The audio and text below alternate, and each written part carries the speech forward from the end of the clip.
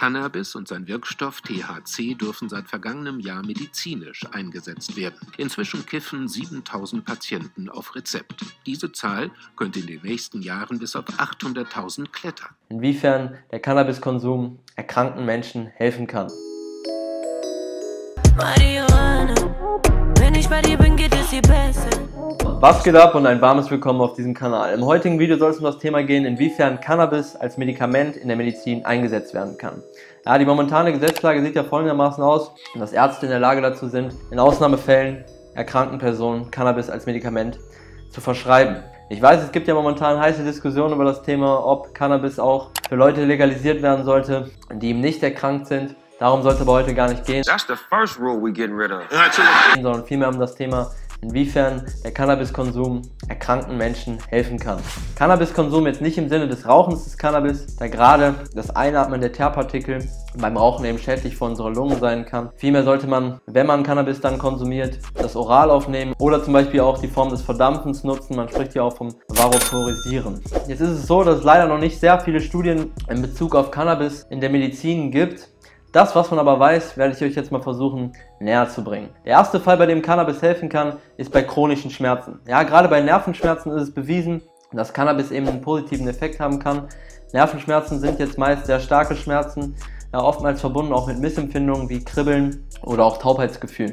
Des Weiteren wurde bewiesen, dass Cannabis in Bezug auf krebsbedingte Schmerzen im Vergleich zu Placebo-Medikamenten eine bessere Wirkung erzielt. Placebo-Medikamente sind im Endeffekt nichts anderes als Medikamente, die jetzt eigentlich gar keinen Arzneistoff in dem Sinne enthalten, sondern nur dem Patienten sozusagen verkauft wird, dass in dem Medikament, was sie bekommen, ein Arzneistoff enthalten ist, der die Symptome von ihnen lindern soll. Und allein durch das Glauben daran, dass das Medikament dem Patienten jetzt helfen könnte, kann es tatsächlich dazu kommen, dass Patienten davon berichten, dass sich die Symptome eben gelindert haben. Ja.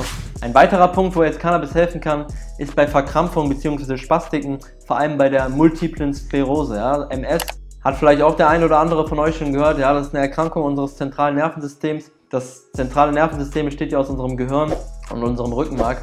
Und das ist jetzt eben eine chronisch entzündliche Erkrankung, wo es eben zu solchen Spastiken und Muskelverkrampfungen kommen kann. Und das Cannabis kann jetzt eben diese Muskelverkrampfung in gewisser Weise auflösen, so dass die Patienten eben weniger Schmerzen auch bei diesen Muskelkrämpfen verspüren. Ja, ich durfte das selber mal erleben im Krankenhaus, als ich ein Praktikum gemacht habe. Hat mir ein Patient auch davon berichtet, der eben MS hatte, dass sich die Muskelkrämpfe, seitdem er Cannabis eben konsumiert, ja, deutlich verringert haben und er auch deutlich weniger Schmerzen eben verspürt hat. Allerdings muss man dazu sagen, dass die Studienlage hier in dem Punkt auch noch nicht wirklich sehr groß ist. Vielmehr beruhen hier die Erfahrungen auf subjektiven Erfahrungsberichten, aber es gibt auch hin und wieder kleine Studien, die das belegen, aber leider einfach noch nicht in diesem großen Umfang, wo man jetzt sicher sagen könnte, okay, Cannabis kann wissenschaftlich belegt jetzt Muskelkrämpfe verringern. Ne? Dann kann Cannabis auch bei Epilepsie helfen. Ja, für die Jungs, die das Video sehen, Epilepsie ist die Krankheit, vor der euch immer eure Playstation warnt, wenn ihr ein Spiel startet. Was bei der Krankheit passiert ist, dass das Gehirn bzw. einzelne Hirnbereiche überaktiv sind. Das heißt also, die geben zu viele Signale ab und dadurch kann es eben zu sogenannten epileptischen Anfällen kommen. Ja, dabei kommt es zu Muskelverkrampfung. Es geht teilweise so weit, dass eben der ganze Körper krampft und es eben auch zu einem Verlust des Bewusstseins kommt. Bei ADHS, der Aufmerksamkeitsdefizit-Hyperaktivitätsstörung, oder dem Syndrom, wie man es nennen will, die meisten von euch sollten es kennen, kann jetzt Cannabis auch helfen. Gerade in Bezug auf die Hyperaktivität, die eben durch Cannabis gelindert werden kann. In Bezug auf die Aufmerksamkeit ist es jetzt nicht bewiesen worden, aber es gibt einige Fallstudien dazu, dass eben die Hyperaktivität bei Leuten, die jetzt wirklich sehr aufgedreht hyperaktiv waren, auf ein Level runtergefahren wurde, wo man jetzt wieder von einem Anführungszeichen Normalzustand äh, sprechen kann. Ja.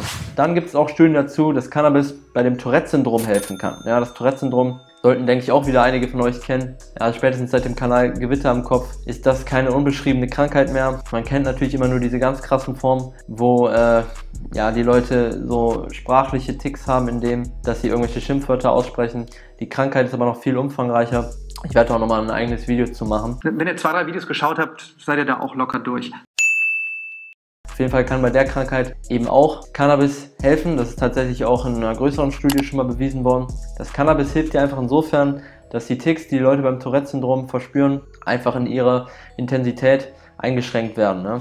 Bei der Schizophrenie, was jetzt auch eine sehr komplexe Erkrankung ist, wo die Leute häufiger verschiedenste Wahnvorstellungen haben, Stimmen hören, denken, sie wären eine bestimmte Persönlichkeit oder solche Dinge, da kann ich auch nochmal ein Video zu machen. Da kann jetzt Cannabis anscheinend auch helfen. Gerade der Wirkstoff Cannabidiol, auch CBD, der momentan sehr im Hype ist, da gerade dieses CBD eben nicht diese stark berauschende Wirkung hat, die der Wirkstoff THC hat. Ich hoffe, ich konnte euch ein bisschen näher bringen, wo man jetzt Cannabis auch in der Medizin einsetzen kann und nicht eben nur um sich... Äh es gibt auch noch ein paar andere Erfahrungsberichte bei anderen Krankheiten, wo Cannabis schon zum Einsatz kam. Allerdings habe ich da jetzt keine Studien gefunden, die das in irgendeiner Form belegen, dass Cannabis da eine Wirkung hat. Deswegen habe ich es jetzt erstmal rausgelassen. Wenn ihr da noch irgendwelche Erfahrungen habt, schreibt es gerne in die Kommentare. Damit verabschiede ich mich von euch. Wir sehen uns hoffentlich im nächsten Video. Macht's gut, euer Jonas, bleibt gesund und vor allem positiv. Bis dahin, ciao, ciao.